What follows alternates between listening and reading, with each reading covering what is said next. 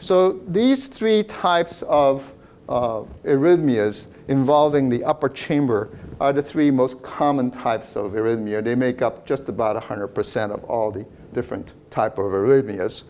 Um, there are some, uh, there are a couple of other uh, atrial arrhythmias to be uh, discussed, but they can be considered, considered ectopic atrial tachycardias, but they are slightly different and uh, worth considering them as a separate category.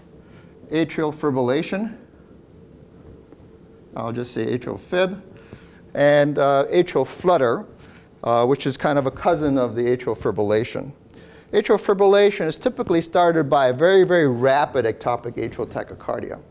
But then once this very rapid beats are going on, let's say firing very rapid rates, it then starts to break up into multiple different impulses in the upper chambers. And this is not a one site that's generating necessarily the, the impulse, but these impulses can be spreading uh, with, from multiple different sites. And uh, these impulses are traveling in a very chaotic pattern. There may be five or six of these around, uh, spreading in no fixed paths. And the upper chamber then is beating at a very rapid rate, in the rate of 300 to 400 beats a minute.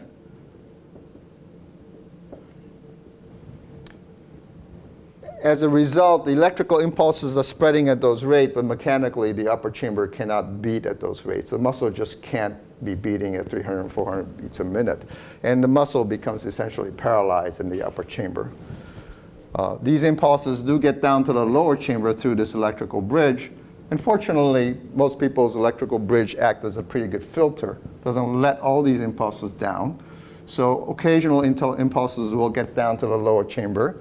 The exact timing of these impulses when they get down to the lower chamber varies. It's not regular. So the typical pattern of your heartbeat that you feel in your pulse for atrial fibrillation is a kind of an irregular pulse. And uh, depending on how slick this bridge is, the number of impulses getting through may be faster or slower, and everybody's uh, electrical bridge, AV nodes, is a little different in terms of how well they allow these impulses get through. And that covers pretty much all of the atrial arrhythmias.